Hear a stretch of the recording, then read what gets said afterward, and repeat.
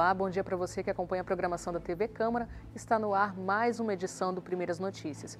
E começamos trazendo as manchetes dos principais jornais do estado e aqui da Baixada Santista. Jornal Folha de São Paulo. Governistas tentam beneficiar bases na reforma de servidor. Propostas de emendas à PEC miram categorias ligadas ao bolsonarismo, como militares e forças de segurança. A manchete do Estado de São Paulo traz: sem qualquer controle, Congresso repassa 1,9 bilhões via emendas. Neste ano, 66% dos parlamentares usaram a chamada transferência especial. Jornais da Baixada Santista, Diário do Litoral destaca: Expo Retomada 2021. Santos recebe primeiro evento teste. Exposição no formato Feira B2B começa hoje no Santos Convention Center e poderá contar com até 1.500 pessoas em dois dias. Por fim, trazemos aqui o destaque do jornal A Tribuna. Santos desativa 40 leitos para Covid-19 e no dia 30, outros 25 deixarão de atender casos da doença.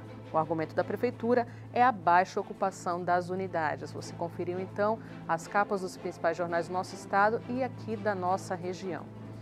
E a Comissão Especial de Vereadores, que busca melhorias para o sistema cicloviário de Cubatão, reuniu-se com representantes do Poder Executivo e da Associação dos Ciclistas.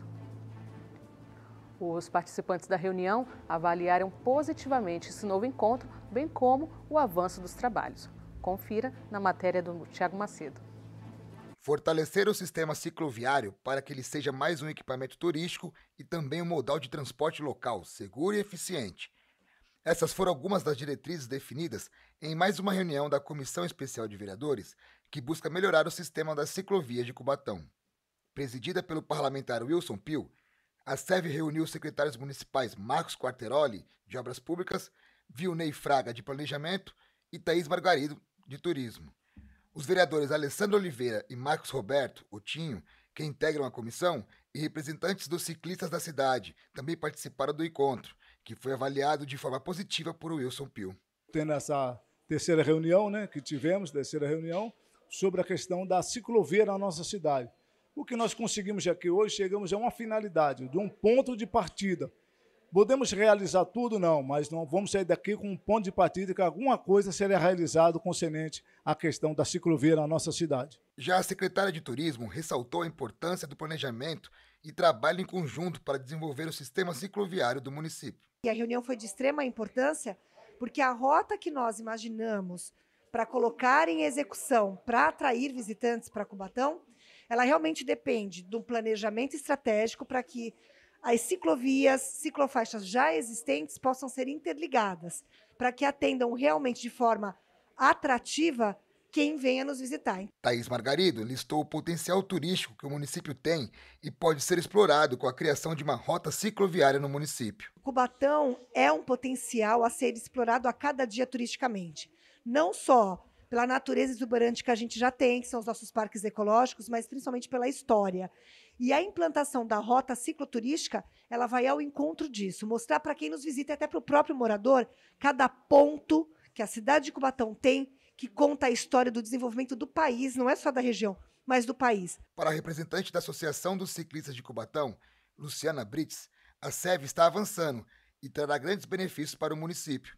Nós saímos dessa reunião novamente com muita esperança, foi uma reunião muito produtiva, e o nosso objetivo é construir um plano cicloviário seguro para o ciclista e para os turistas da nossa região. Muito bem. Nós vamos conferir agora como andam os números da pandemia aqui na nossa cidade, através do boletim epidemiológico divulgado diariamente pela Prefeitura de Cubatão. Até o momento, 14.638 casos estão confirmados para a Covid-19.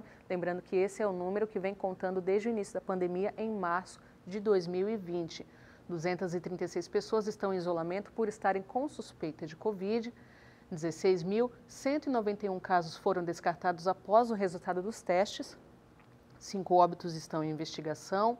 49 óbitos foram descartados também após resultado de testes e 488 pessoas perderam a vida em decorrência da Covid-19 até o momento. A Secretaria de Saúde ela salienta que os sete novos óbitos essas sete novas notificações referem-se a mortes que ocorreram entre 17 de junho e 19 de julho, mas que de fato só foram confirmadas ontem, sendo também que quatro delas ocorreram em municípios fora aqui de Cubatão. Até o momento, também 14.097 pessoas já se recuperaram da doença, receberam alta hospitalar ou alta do isolamento social. Na UTI Covid de Cubatão estão internadas sete pessoas. Esse número corresponde a 38,88% da taxa de ocupação diária dos leitos do nosso hospital. E a taxa de ocupação média semanal é de 46,82%. Vamos conferir também como anda o, o avanço da vacinação aqui em nossa cidade. Até o momento foram aplicadas 74.605 doses, sendo que deste número, 56.732 foram a primeira dose, 14.629 segunda dose e 3.244 pessoas já se vacinaram com a vacina de dose única. Ou seja, até o momento, 45,5% da população já tomou a primeira dose da vacina, ou a vacina de dose única.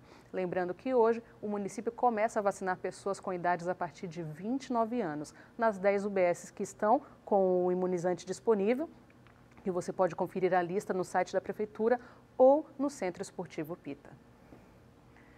E a Prefeitura, a CMT e a Caixa de Previdência reabriram para atendimento ao público. Porém, os protocolos de segurança e higiene continuam sendo exigidos. José Mário Alves nos traz mais informações.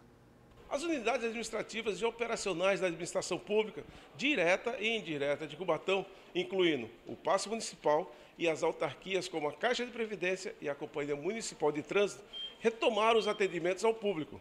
O Paço Municipal ficará aberto das 8 às 17 horas, com acesso pela entrada principal na Praça dos Emancipadores. Para garantir a segurança dos cidadãos na prevenção à Covid-19, os protocolos sanitários continuam sendo adotados em todos os próprios, como a aferição de temperatura corporal logo na entrada, uso obrigatório de máscaras, álcool em gel, além da alternância de acesso, garantindo o distanciamento social. Os servidores públicos, estagiários, aprendizes e demais colaboradores da administração pública que estiverem em sistema de teletrabalho ou revezamento, excetuando as gestantes, deverão retornar aos postos de serviço de maneira gradual até o final de julho, conforme deliberação das chefias. Parques e outros espaços públicos permanecem com acesso restrito, conforme vigência do decreto 11.440, e as escolas municipais também continuam fechadas. Muito bem, agora são 11 horas e 44 minutos e, de acordo com os meteorologistas, a partir de hoje, a tendência é de aquecimento, com tardes mais agradáveis e madrugadas menos geladas. Confira os detalhes na nossa previsão do tempo.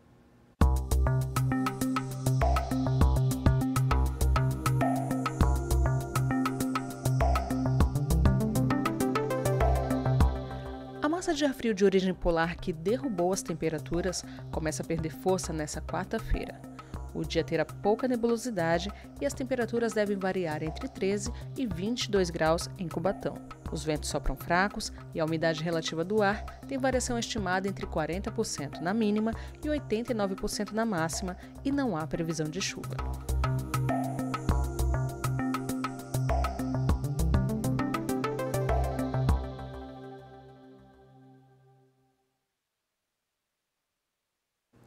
É hora de falar de esporte aqui no Primeiras Notícias. Pela Libertadores da América, o São Paulo venceu o Racing da Argentina por 3 a 1. E no futebol feminino, a seleção brasileira goleou a China por 5 a 0 na estreia das Olimpíadas de Tóquio. Confira os gols. Racing e São Paulo jogaram ontem pela Libertadores da América.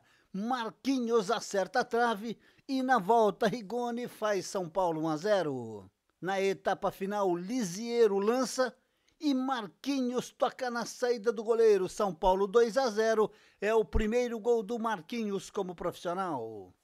Marquinhos com grande participação no jogo toca e Lisiero completa é o terceiro do tricolor paulista. E nesta tabelinha Correia desconta para o time da casa. Final, Racing 1 São Paulo 3. Futebol feminino, Brasil e China jogaram pelas Olimpíadas de Tóquio e a seleção brasileira goleou. Marta pega sobra e abre o placar. Érica amplia para o time brasileiro. No segundo tempo, ela, Marta, de virada, marca o terceiro. De pênalti, Andressa deixa sua marca, Brasil 4 a 0. Bia desvia após o cruzamento para encerrar o placar. Brasil 5, China 0. Próximo jogo da seleção brasileira feminina é sábado contra a Holanda. Muito bem, parabéns então às meninas da nossa seleção. Dessa forma, nós encerramos o Primeiras Notícias dessa, dessa quarta-feira e voltamos às 18h15 com mais informações no Últimas Notícias. Um ótimo dia para você, até mais.